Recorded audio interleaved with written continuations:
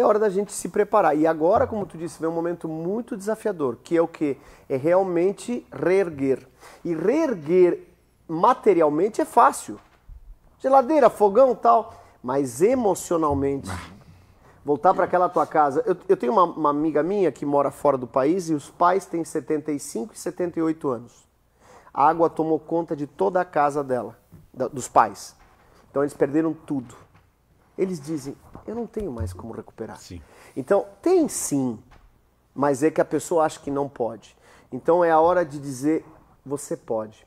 E eu deixaria uma última palavra nessa primeira intervenção: confiar. Ontem, na missa da- das famílias do Padre Marco aqui na Catedral São Luís, foi lindo. Ele falava sobre confiar. Deus não abandona seus filhos. E Ele nunca te abandonou e nem vai te abandonar. E aqui não é sobre religião. É sobre você confiar em que existe algo maior. É sobre confiar em você, que você é capaz. E sim, sozinho não dá. Sozinho é difícil, sozinho é complicado. Ed Spear, fundador da Cicred, falecido, um dia me disse: Se correr o bicho pega, se ficar o bicho come. E essa frase eu dizia, pai, eu não gosto dessa frase, Ed. Não, tu vai gostar agora. Se nos unirmos, o bicho foge.